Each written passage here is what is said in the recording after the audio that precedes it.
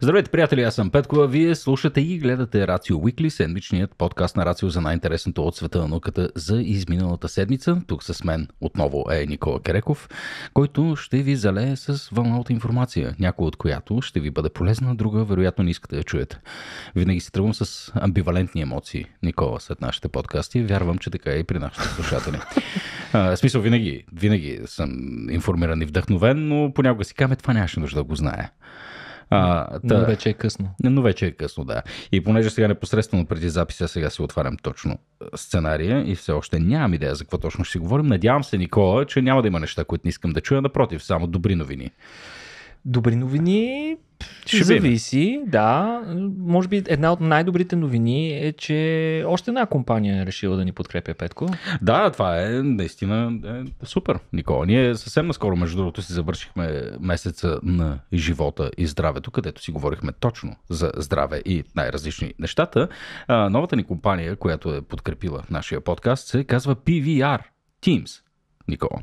А, сега, Темата за здравето, очевидно, освен важна за нас, е важна и за тях и те са сред компаниите, полагащи специални усилия, Никола, за стимулиране на физическото и менталното здраве на вашите служители. Нещо, което вярвам, има който нужда. слуша сега, да, си казва, бе, трябва, трябва, малко, трябва малко повече. Обикновено в момента, в който си го казвате е късно но следващото най-добро време е сега. Да, разбира се, да. Ако се нуждаете от допълнителни спортни активности, лекции на теми свързани с менталното здраве, включително и забележи онлайн психологическо консултиране, Никола, което е, е гати. Нали, наистина, да. наистина страхотно. А, PVR Teams е вашето място. А, кратка визитка за компанията, тъй като за първ път работиме с тях. Компанията е пионер в изграждането и управлението на високо ефективни технологични инженерни трансгранични екипи в Източна Европа. Вау. Добре, окей. Okay. Да, инженери, Никола. Браво. Да.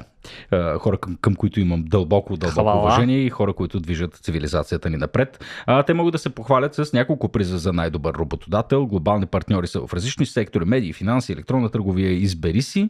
А, и имат най-разнообразни кариерни възможности с модерни технологии, страхотна екипна култура, активна благотворителна програма и забележителни социални придобивки. Отиваме ли, Петко? Айде, Отиваме. Еми, сега за какво го играем това цялото нещо? Като аз сега като Ама чета... ще не се, ще не се разсърдат. Къде са ни тук спортните активности? Къде ни е менталното здраве? Никола? Къде ни е тимбилдинг? Не, а така, да, ти само ни чупиш специално, главата специално тук. се обръщам. Систематично и постоянно. Към да. едни хора.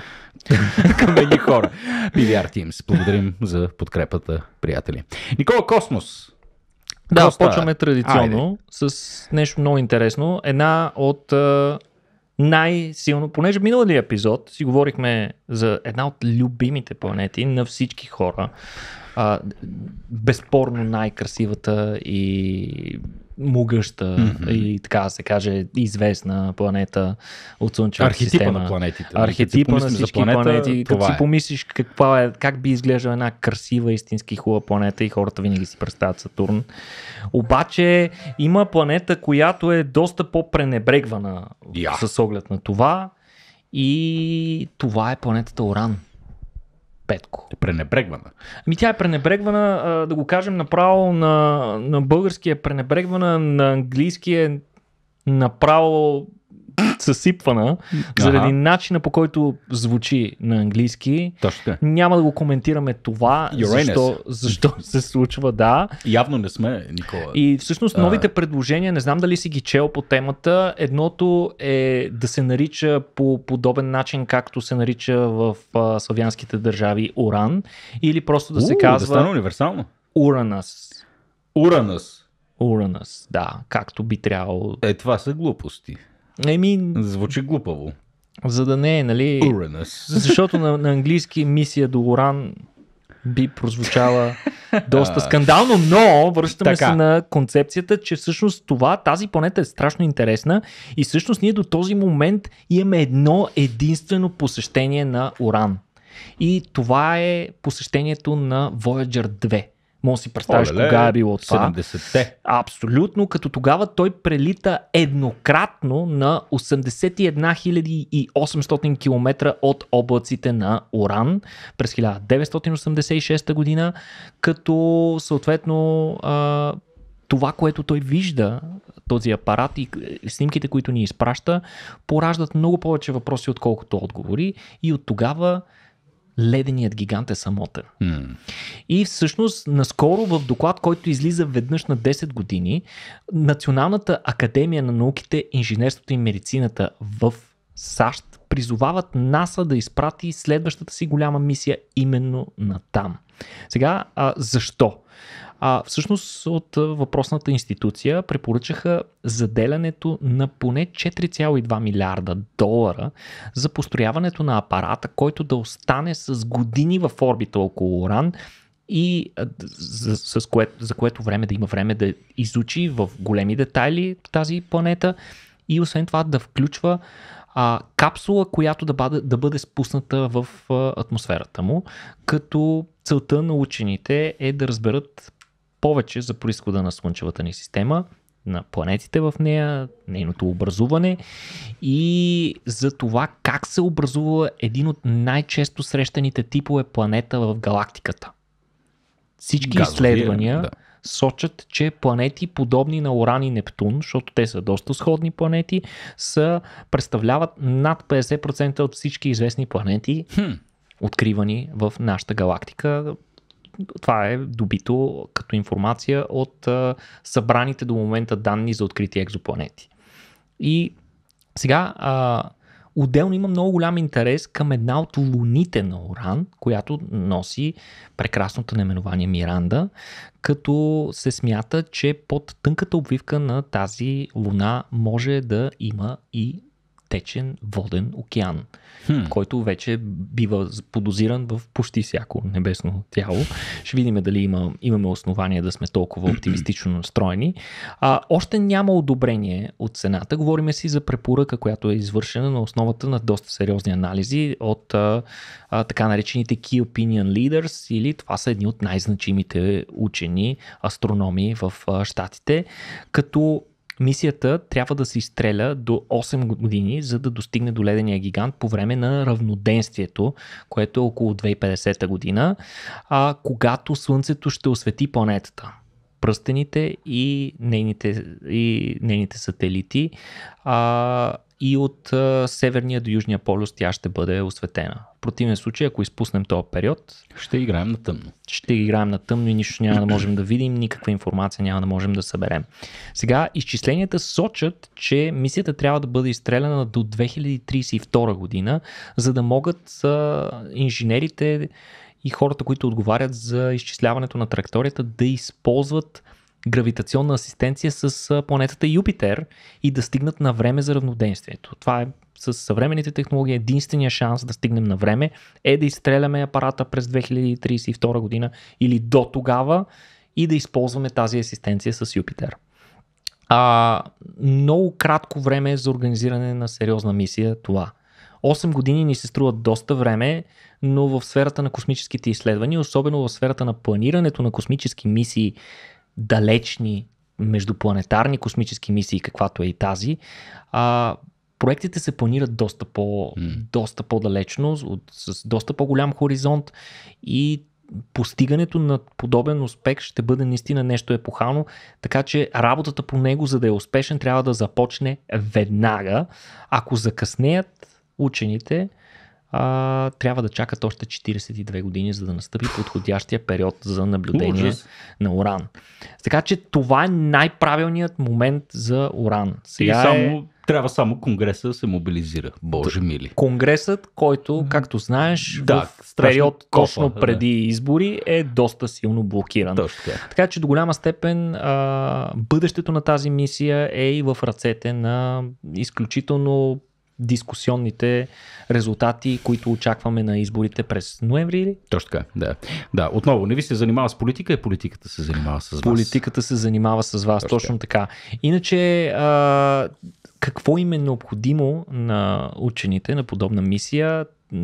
Във въпросният анализ има доста подробна информация за това, както и препоръки как да се спести време при планирането на подобна мисия. Те смятат, че можем вече да стъпим на предходни мисии, а включително да използваме инструменти и апарати, които са много подобни на тези използвани при предишни мисии, като от въпросната институция твърдят, че няма да е необходимо нищо по-различно от една а, проста мисия, подобна на Касини, като включително може да се използва и абсолютно същото шаси, а, с което да Касини се... не е ли много стара мисия? Стара мисия, да. Така да. че може да се използва старото шаси, а, почти непроменено, просто се качат необходимите инструменти, да се тества, разбира се, и да бъде изпратено на време. Mm-hmm. За спускаемият апарат обаче, а, учените твърдят, че им трябват по-добри телескопски данни за състава на атмосферата на Уран, за да могат съответно те да направят адекватен дизайн за парашут и топлинен щит на въпросният инструмент, който ще се спусне в атмосферата, а, като по-добри данни са им необходими и за отломките между пръстените на Уран, той има пръстени, и границата на атмосферата, за да могат да спуснат безопасно апарата и да извършат всичките необходими изчисления на неговата траектория, как трябва да бъде спуснат, откъде трябва да премине и така нататък. Като учените твърдят, че за това новият космически телескоп Джеймс Уеб може да помогне много.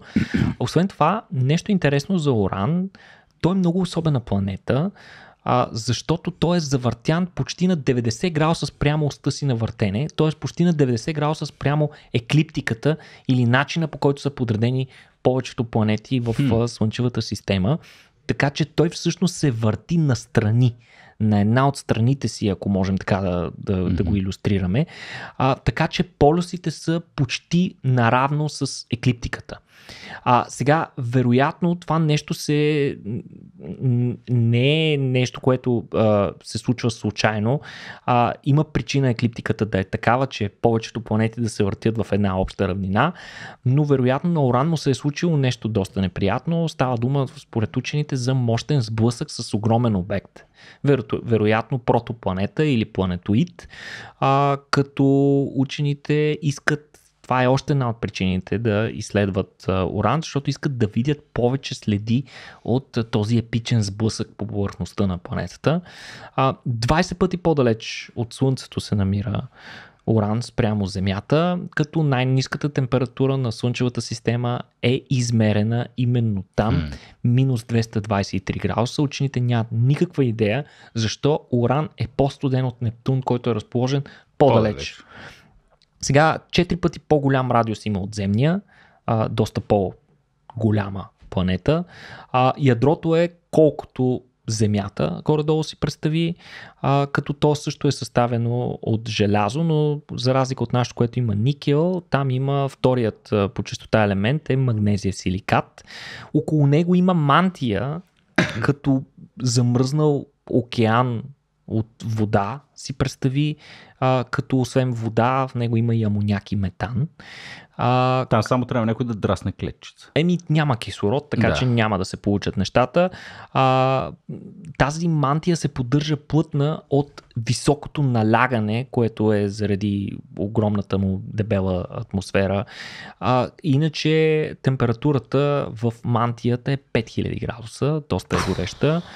Атмосферата се състои от хели, водород и метан. Това е което... Чакай, извинявай, извинявай, че те прекъснах. Най-студената планета, мантията й е 5000 градуса. Да, но най-студено е на повърхността й. Където Тя е просто изобщо не задържа топли. В смисъл, 223 градуса. Ами нямаме как да знаем. В смисъл, тя е доста далече от Слънцето, нали? Трябва да има пред 20 пъти по-далече да, да, аз просто се замислям колко е дебела тая мантия и колко е дебела ще земната кора, урановата Ема, кора, ето, за да не виж, достига нищо от тази температура. Земната, земното ядро е там и то горе-долу същата температура 5, 5000, да. 5500 градуса, обаче на повърхността не е 5500 да, градуса. Да, говорим нали? за мантия, което ти е втората така след е, кората. Да, да, да. да, да. Хм, интересно, да, просто Има 13 пръстена и 27 луни, виж вече... 27 луни? Еми, доста по-голяма планета. Абе, колко са луните в Слънчевата система? Я малко тривия, не знаеш ли на Изус? Не знам, но знам, че и Юпитер и Сатурн се борят непрекъснато за титлата с най-много луни, имат по над 100. Те ги откриват постоянно. По над 100 имат, Майко така че да. доста са.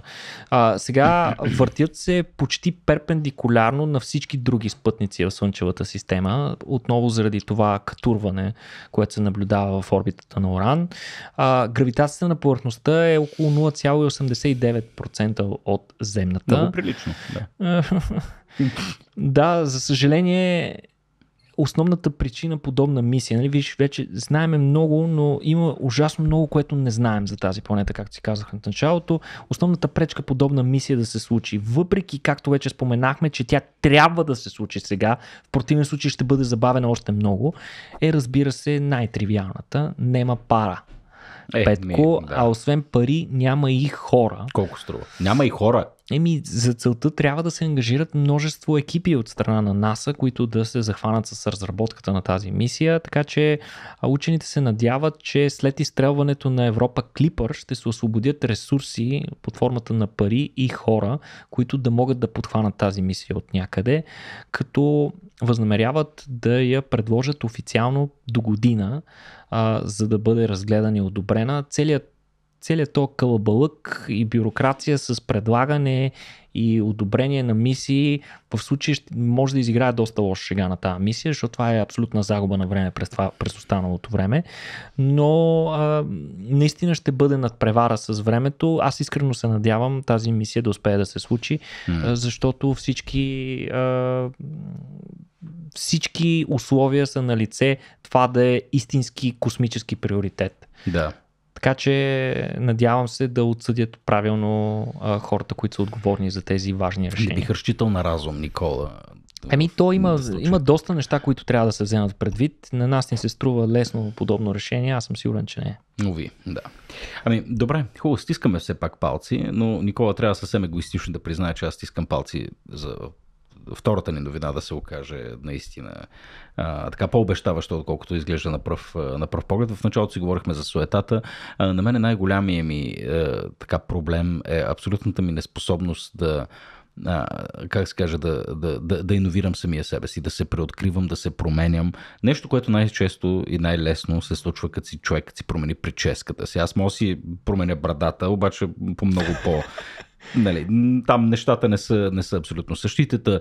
А, сигурен съм, че много хора имат а, и същия проблем. Имаме ли данни за оплешивяването, бе, Никола? Или... Ами не просто данни, ами имаме и причина за надежда, така. за която точно ще си поговорим днес. А, много неочакван пробив. То на това се гледа като на болест, така ли? ами не, всъщност ние ще си поговорим и за това. То не е болест, в интерес на истината. Та, учените, учени случайно са се натъкнали на потенциално ново лечение за наследствената плешивост, което представлява и най-честата причина за загуба на коса, както при мъже, така и при жени, малко известен факт. А, обикновено при мъжете тази загуба на коса е почти пълна, докато при жените води просто до съществено уредяване на косата. Сега, а, учените как са стигнали до това откритие, както казахме, то плотна случайност, както често се случва и в науката.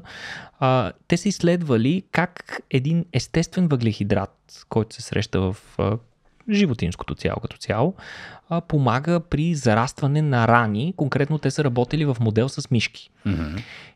Този естествен въглехидрат се нарича дезоксирибоса. Това как ти звучи дезоксирибоза? Не също толкова неясно като всичко друго, което започва с дезокси. Нищо познато няма в дезоксирибозата. Така е. Добре, Петко, само ще кажа, че това е много съществена част от структурата на ДНК. Е, дезокси го подсказа. Но... И всъщност това е и първата първата буква от дезокси. Да, дезоксинуклинова киселина. Рибонуклинова киселина. Риbo, да, тъй като да. дезоксирибозата буквално е скелета, съставя скелета на ДНК молекулата, хм. като Съответно, учените от университета в Шефилд, заедно с свои колеги забележи от университет в Пакистан, са забелязали, че при локално приложение на препарат, съдържащ дезоксирибоза, козината около раните, около травмите, които те са наблюдавали, се е възстановявала неочаквано по-бързо, отколкото при нетретираните мишки. Mm-hmm. Това е нещо, което те изобщо не са очаквали да видят. Те са искали да видят колко бързо зараства раната, нали? колко бързо регенерира епитела. Това, което те са наблюдавани свързано с космената обвивка е било абсолютно неочаквано. Хм. Така да го кажем. А, и, и причината да го наблюдават това нещо е, че преди хирургическите намеси, процедурите свързани с нанасенето на тези травми, за да може в последствие да гледаш как те се възстановяват, преди да се извършат тези травми, мишките се епилират напълно в тази зона. Да.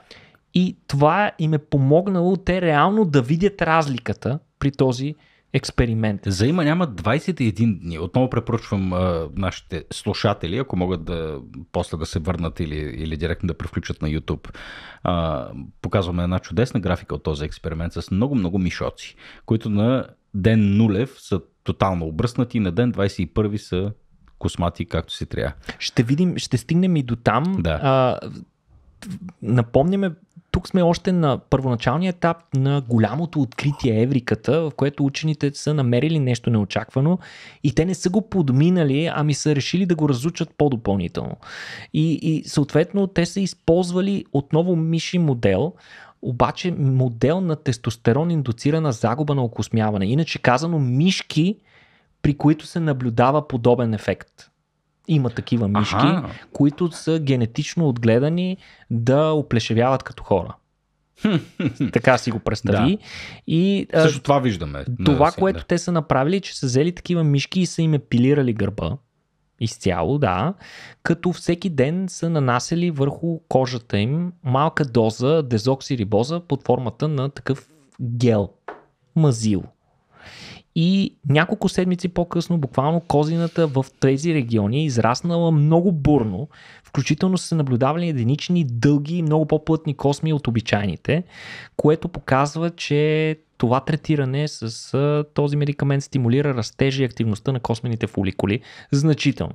Ефектът бил поне толкова силен, колкото и при използването на така нареченият миноксидил, който е по-известен като рогаин. Това е един от малкото одобрени медикаменти срещу оплешевяване. Сега, Рогейн съм го чувал аз. Но да. да. Сега, наследствената плешивост, напомняме, тя не е заболяване, естествено състояние. То се държи на комбинация от генетични и хормонални а, фактори, като генетичните са водещи до голяма степен, тъй като буквално 80% от плешивите мъже имат плешиви бащи. Това е известен факт като то освен това е свързано и с възрастта и пола, като до 50 години засяга около половината от мъжете на планетата и 25% от жените.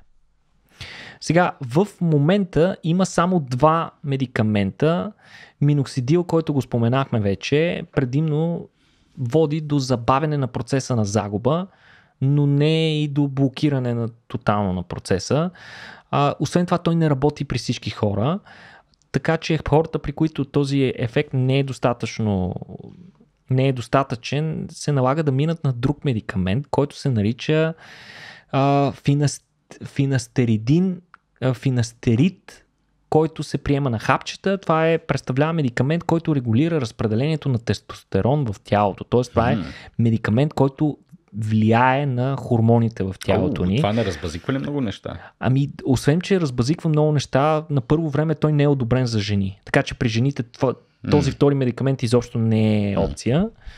А, освен това, а, нали, основният му ефект е, че забавя загубата на окосмяване с 80-90%, но трябва да се взима непрекъснато. Има много сериозни странични ефекти, като много от тях биха звучали абсолютно кошмарно за всеки мъж. Те са еректилна дисфункция, болки в тестисите и в гърдите, намалено либидо и депресия. Е! Нещо за което... Смърт. Нещо, за което съм сигурен, че повечето мъже биха с удоволствие се лишили от косата си. Майната му, биха казали, майната му ще се замогна и ще отида в Турция. Точно така. Ще отида в Турция, ще си имплантирам. То даже не толкова пари. И ще така. си имплантирам, да. А, но в случая Учените са използвали биоразградим гел, който съдържа въпросната дезоксирибоза и са наблюдавали, че третираните животни а, започват да произвеждат нови космени фоликули, което е изключително неочаквано и много оптимистично. И освен това, този медикамент има изключително голям потенциал за допълнителна разработка, а, тъй като той би, би, а, въпросният медикамент, който ще се разработи на неговата основа, би бил много ефтин и изключително безопасен продукт. За разлика да. от, както казахме, двата основни одобрени медикамента в момента и няма да има абсолютно никакъв проблем да се прилага на който и да е от половете, така че а, доста добри новини за хората, които в бъдеще ще имат избор дали да бъдат плешиви или не. Или не, да. Надяваме се. Да видим, Никола. Да видим. Какво да, смисъл, аз, аз това няма да го дочакам, пък и да, и да дойде. Да се появи вече на къде. Смисъл, да, ти представи да, да се появя с коса. Мен децата нямаме киче, Смисъл, да си да, направи... киче, да. Това е глупости. Да, няма как. В смисъл вече е, има част някаква... От, част от визията ти вече. Е, част от идентичността буквално. Uh-huh. няма как да е, да е вече другояче. Добре. Ами, много интересно, Никола. Сега като си говорим за, за иновативни е, подходи към, е, към най-различни. Да, между другото, смисъл тази, тази схема в момента, виждам, виждаме серия. В момента виждаме серия мъже. известни и емблематични хора, които нямат точно така, да. Коса на главата си. Беше, беше изключително депресиращо това, че той ги пускаше, Жоро ги пускаше в последователност и аз бях точно между Вин Дизел и скалата. и съответно изглежда като някаква тежка междутурка просто между тия двамата, но както и да е. Да. Нищо бе, плешивия мъж също може да е красив. А, да, да, Никола, а, за какво говорих? Да, за иновативни методи за, за лечение. Всички знаеме, че а, така психичните проблеми са едни от по-неглижираните, или ако не са толкова неглижирани, по-скоро там е огромното предизвикателство всъщност. Все да. пак говорим за... Какво беше клишето? Нали? Най-сложното нещо в Вселената, нали? нашия, нашия собствен мозък. А, и а, там е много, много необходимо всъщност всички се нуждаем от някаква, някаква иновация. А, сега живеем във време, в което така, особено в определени райони на света се вижда една цяла кохорта или ни цели поколения от унищожени хора, чисто психически заради посттравматичен синдром. А, виждаме, естествено, реферирам към войната в Украина, всякакви други типове конфликти, които ще създадат цели поколения от хора, които ще се нуждаят от някаква форма на лечение на посттравматичен стрес. А, и в момента, не знам, опциите ни се свеждат до какво? Някакви видове когнитивна терапия, имаш стандартните там психологически терапевтични техники и съответно някакъв, да, да знам, self-help, там хората пушат марихуана или се опитват по някакъв начин да се справят с тия неща, но от известно време всъщност се говори за така доста обещаващите така или обещанията на психоделиците като форма на лечение на посттравматичен стрес. много се така се разду темата, нали, говореше се за най-различни експериментални постановки, които са довели до много обещаващи резултати и всички някакси чакахме да видим какво Паджаба ще излезе от цялата тая работа. Та имаме новина в тая връзка. А, разкажи ни. И тя не е точно добра. Mm. Интересна истината. И новината е, че от Федералната агенция по контрол на лекарствата в Штатите отказаха одобряването на най-напредналия медикамент от групата на психеделиците, конкретно който трябваше да бъде използван срещу посттравматичен стрес. Напомняме, това е тежко психическо разстройство, което а, развиват хора, жертви на насилие или след тежко травматично събитие, като данните епидемиологичните сочат, че засяга около 5% от американците за Европа Което е и България. общество отново да отбележим. Да. да, за Европа и България нямаме толкова добри данни. Не успях да изровя нищо категорично, но няма причина да смятаме, че сме кой знае колко по-добре от това. Сега до сегашните терапии, които се използват за това доста упорито разстройство, са свързани с прием най-вече на антидепресанти, като този прием обикновено е продължение на множество месеци и не винаги има траен ефект, а при някои хора даже няма абсолютно никакъв, само страничните ефекти. Сега, конкретно калифорнийската компания Lico Street Therapeutics даде големи заявки и надежда, че ще се намери ново революционно решение в духа на това, което ти каза. Mm. Тези психеделици, за които вече се говори последното десетилетие много активно, като съответно компанията е провела две проучвания в фаза 3, последната фаза преди приемане на даден медикамент, с по 100 човека всяко от проучванията, като съответно Участниците в проучването са разделени на две групи. Една от групите се подлага на такава психотерапия или когнитивна терапия, свързана с разговаряне с терапевт и в комбинация с медикамента, в който в случая става дума за мидомафетин. Ох, най-общо казано MDMA и по-известно mm-hmm. като екстази на улицата. Или, а, а пък втората група също получават такава когнитивна терапия, но вместо медикамента, вместо MDMA, получават плацебо. И сега първоначално публикуваните резултати, които бяха публикувани между другото в престижното списание Nature Medicine, показват, че MDMA е едновременно безопасен и високо ефективен при лечението на посттравматичен стрес. Yeah. С много по-добри резултати от всичко, до което до момента имаме на разположение. И нещата изглеждаха изключително обещаващо. Сега няколко думи за медикамента. MDMA е класически амфетамин, но много често се причислява към психеделиците заради силно позитивните ефекти, които има върху състоянието на хората, върху това начина по който те се чувстват. А, често се използва поради тази причина и като парти, парти наркотик, често се свърза с а, движението на електронната музика. А, някои го наричат емпатоген, заради способността, заради това своеобразно отваряне на хората, повишаване много, много, много сериозно и чувствително повишаване на доверието към околните хора, промяна на отношението към тях. Така, Прави хората по-добри. По-добри, с по-голямо желание да се свързат едни към други. Хората, които са го взимали, го описват като една безкрайна и безгранична любов към околните хора и към Вселената. Нали, тук mm. малко се впускаме в едни прозаични описания, но а, нека не забравяме, че MDMA е в списъка с забранените вещества на повечето места в света. А, но напоследък серия от изследвания показват потенциал при лечението на посттравматичен стрес и депресия, заради което MDMA получи специално разрешение от същата тази FDA по-рано за а, ускорено а, изследване, което значително ускори всички клинични изпитвания с а, този медикамент.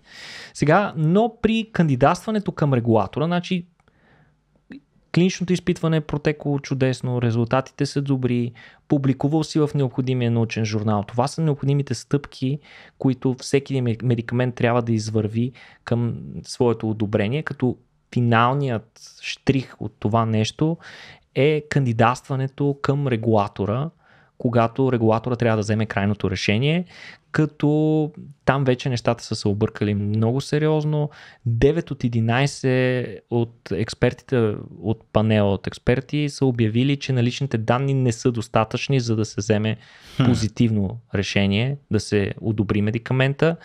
А, и те твърдят, че не са достатъчни за да докажат а, демонстрираната в проучването ефективност от терапията, а 10 от 11 смятат, че потенциалните рискове са по-големи от ползите. Сега, защо така? Mm. Какви са основните доводи на хората от комисията? Тук ще цитирам част от тези най-съществените части от основния доклад, който излезе от Федералната агенция по лекарствата на щатите. А, един от основните проблеми на проучването е фактът, че то е обявено като двойно заслепено проучване. Напомняме на нашите слушатели на те Петко, че двойно заслепените проучвания са такива, при които нито пациента, нито лекаря знае какъв медикамент приема съответния пациент. Дали той приема истинския медикамент или приема плацебото. А, но според експертите от тази комисия е много лесно за участниците да разберат в коя група са, както и за лекарите, просто защото ефектите от медикамента са изключително силни отявлени. Mm. Е да ти вземаш амфетамин. Абсолютно. И, и това съответно експертите наричат функционално, функционална загуба на заслепяването. И според тях това е доста сериозна пречка на това ние да имаме доверие на тези резултати, тъй като според тях а, загубата на заслепяване промени нагласата както на лекарите, така и на пациентите към въпросната терапия и, и съответно хвърля съмнение върху това колко реалистични са резултатите. Това обаче няма как да го пребориш. В смисъл, как... Има, има начини, по които подобни неща се преборват, като обикновено вместо да, за, за, за плацебо, вместо а, просто захарно хапче, се дава хапче, което има някакъв ефект. Например, да. сънотворно или антидепресант, или... А... Некви гъби. Ментаглок валериант. Нещо, да, да, което да, да. да има леко успокояващ ефект, леко да променя състоянието на психиката, за да може ти все пак да не можеш да се ориентираш, нали, кое, какво е. А, действителност, при работа с психеделици това е едно от основните а, препятствия. Сега, друг от доводите на учените от а, въпросния панел е, че не са събрани че в процеса на изследването не са събирали достатъчно данни за страничните ефекти, а, включително еуфория и при повдигнато настроение, което според FDA е важно за оценката на риска от злоупотреби. Нали? До каква степен хората биха имали а, мотивация да злоупотребят с медикамент си, mm. т.е. да започнат да се пристрастяват към него. А, предишни данни пък сочат, че въпросният медикамент има риск да повлияе негативно сърцето и черния дроб, но от компанията Ликус не са намерили, не са измерили необходимите показатели за това, за да се оцени. Това е още един довод. А, освен това, тук вече започва да става, да навлизаме, да нагазваме малко в мръсните води на клиничните проучвания и става дума за данни, които пък са събирани паралелно от неправителствени организации, които сочат, че а, според тях има доста нередности в подбора на участници, като според тях компанията е набирала а, повечето от участниците си предимно от наличното общество, от хора заинтригувани към приема на психиделици. Oh конкретно... Е, това са някакви аматьорски грешки. Абсолютни аматьорски грешки. А, освен това, част от пациентите докладват, че не им е позволено да участват в дълготрайното им проследяване, много след като са приемали медикамента, като според тях това може да е нарочно, за да се изключат възможностите от негативни данни а, да развалят статистиката на проучването. А, освен това, някои хора твърдят, а, че след а, въпросната терапия са изпитали неприятни усещания, включително склонност към самоубийство. Няколко от хората са докладвали а, анонимно, разбира се, пред тези НПО организации, че им се е наложило сами да се хоспитализират, да постъпят в болница, защото са се притеснявали, че могат да посегнат на живота си. А, сега, друг голям проблем е, че около това изследване избухна голям скандал преди време. Още докато то беше на предишната си фаза 2, а, бяха, бяха обвинени от Ликос, че са допуснали ниски етични стандарти и недопустими етични практики при провеждането на проучването. Сега става дума за огромен скандал, който избухна в медиите в Штатите, свързан с двама от терапевтите, които всъщност са обвинени а, официално са обвинени. А, единият, между другото, е практикувал без разрешително Петко, което е скандално. А, но всъщност, всъщност в, в проучването едно от изискването е било, а, за да е обективно и за да не се злоупотребява с участниците в проучването, тъй като те като приемат това нещо са в едно доста по-уязвимо състояние. А, обикновено като изискване на проучването е тази когнитивна терапия да се извършва в присъствието на поне двама терапевта. Mm-hmm. И един вид двамата терапевта взаимно се гледат а, и, и взаимно се контролират, така че никой да не може да злоупотребява с а, пациента. Но при а, това нещо те са при, нали, при регламента, който е поставен в протокола на това клинично проучване, е казано, че Единият от тях е задължително да има сертификат да, да практикува, да. а другия може да няма сертификат. И сега какво се е случило при тези, при тези в, в, в това злощастно проучване и конкретно на този конкретен при тези конкретни а, терапевти, ами а, оказва се, че а, двамата терапевти а, всъщност са били мъж и жена, съпрузи, и се оказва, че заедно с жена си мъжът е обвинен в многократно сексуално посегателство срещу един от участниците в проучването. Боже, мили, сериал, каква е тази секта, какви са тия? Слушай, слушай, Петко, нещата, нещата стават ужасяващи, наистина добият ужасяващи размери и направо е немислимо, че подобно нещо се е случило. А, та, а, многократно сексуално посегателство срещу Меган Буесон, която е един от участниците в проучването в Канада, като забележи Петко, тя е с посттравматичен стрес, защото е жертва на сексуално насилие преди това. О, боже мили. И тия пак като те дори са си позволявали да я връзват по време на сеансите и да я обездвижват, да я прегръщат и да лежат до нея, като според тях това бил ефективен метод да се върне споменът от травматичното събитие и да се асоциира с някакъв по-добър контекст, което е абсолютно противоречи на всички морално-етични медицински изисквания на провеждането на подобен род терапия. То противоречи на чисто човешки неща. Скандал. Значи, няма как от FDA да не се повлияят от а, драмата с този скандал, въпреки че от Ликос веднага са спрели проучването, съдействали са на властите, а, предоставили са всички видеозаписи на въпросните сеанси, които са извършвали а, двамата терапевти, които между другото са скандални. Част от тях а, изтекоха и в публичното пространство. Наистина немислимо, че подобно нещо се е случвало.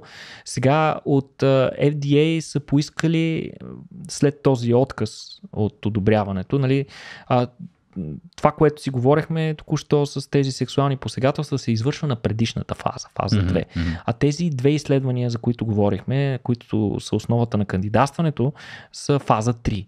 А, от FDA са ги резнали, казали са няма да станат така нещата, за да ни докажете, че вашето изследване наистина работи, трябва да организирате ново фаза 3 проучване, което ще се проведе по правилата, които ние ви кажем и вие ще включите съответно групите, които ние ви кажем и в протокола ще бъде оформен по начина, по който ние смятаме, че ще се дадат правилните Те, резултати. Колко са големи ликосте? Това не може да си го позволят никога. са доста малки, да. Съответно, те нямат необходимите, това подобно проучване проучване ще отнеме а, години да бъде планирано, още повече години да бъде проведено и съответно много пари, които Ликус не разполага с тях. Сега, малко след това беше обявено, тук започва голямото пропадане на компанията, защото малко след това беше обявено изтегляне на три от статиите, които имат свързани с отразяването на тези проучвания в един от научните журнали, който се казва психофармакология, т.е. именно място, къде трябва да се публикуват mm. такива резултати, а, като съответно решението е на журнала. Част от авторите са били, са се съгласили с оттеглянето, но друга част, както и самата компания, са се изразили силно против изтеглянето на това, но те нямат избор в крайна сметка. А, психотерапевтите, участващи в проучването, ето тук да видим една друга страна на нещата. Психотерапевтите, участващи в проучването, също смятат решението за абсолютно несправедливо. Един от тях, цитирам, твърди, аз не можах да разпозная проучването, докато следя репортажите за него. Нищо такова не съм видяла да се случва в него. Това, което съм виждала през цялото време, в което сме работили, е само сериозно отношение, отдаденост и професионализъм. И наистина, наистина е много възможно нещо такова, това наистина да е факт и, и всъщност проучването да е силно очернено именно заради огромните скандали, които са се случили заради единични случаи на изключително непрофесионално отношение към проучванията. А, сега, Разбира се, от FDA твърдят, застават силно зад позициите на своя панел и смятат, че абсолютно основателни са техните доводи, но това вероятно ще е краят на Lycos Therapeutics, тъй като малко след обявяването на решението на FDA през август месец, изпълнителният директор му се наложи скоро постижно да напусне, е, не. а компанията, от компанията бяха принудени да съкратят 75% от служителите си, което, както можеш да се досетиш, не е да. Не е, е добре за никоя компания. А, компанията вече е в ръцете на доста опитен човек в а, фарма индустрията, бивш изпълнителен директор на голяма фармацевтична компания. На него са възложени всичките надежди за спасяването на компанията, но дали това ще се случи, ще видим през следващите години. При всички случаи, за да се случи, той трябва да работи много интензивно съвместно с властите от FDA, за да може да се спасят нещата mm. и да евентуално да се повтори въпросното проучване.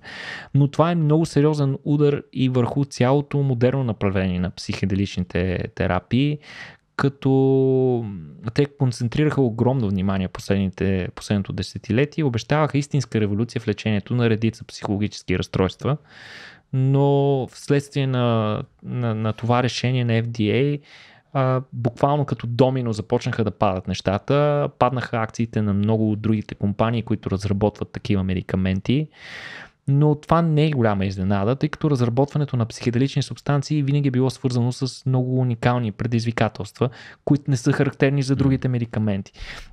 Тъй като медикаментите се вкарват в човека в влизат, вкарвайки се в човека, те го вкарват, променят начина на работа на неговия мозък и го вкарват в едно много изменено състояние на психиката, в което той е изключително уязвим.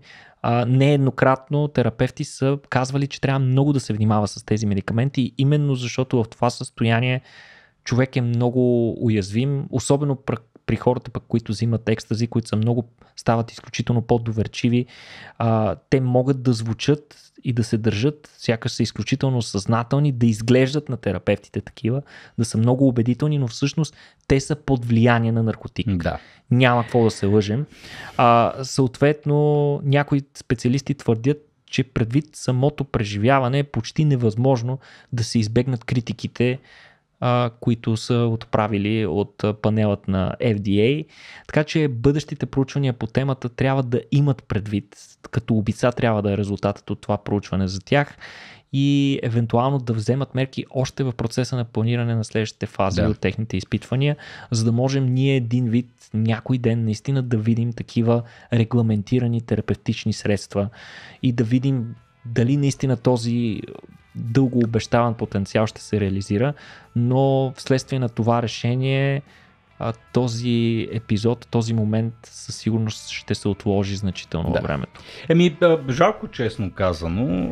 Но при всички случаи аз мятам, че една голяма част от тези неща са можели да ги избегнат с по-добър, по-добър дизайн. Те, не, много дилетантски звучи. Да, дилетантски звучи много и двамата сме работили в компании за клинични проучвания и знаем Нали, тук може би е странна аналогията, но баща ми, понеже от армията обичаше да казва, устава е писан с кръв. Е, в смисъл там има всичко причина. е, има причина всичко да е толкова строго регламентирано и последователно и да се спазва изключително дисциплинирано, що се отнася до разработката на медикаменти и тяхното тестване. Все пак говорим за живи субекти, за живи хора а, и компромиси там наистина не трябва да се допускат. Е, жалко наистина, че нали, такова дилетантско изпълнение може да доведе до ам, така, драстично забавене на може би и нали, наистина един вид обещаваща терапия, кой знае.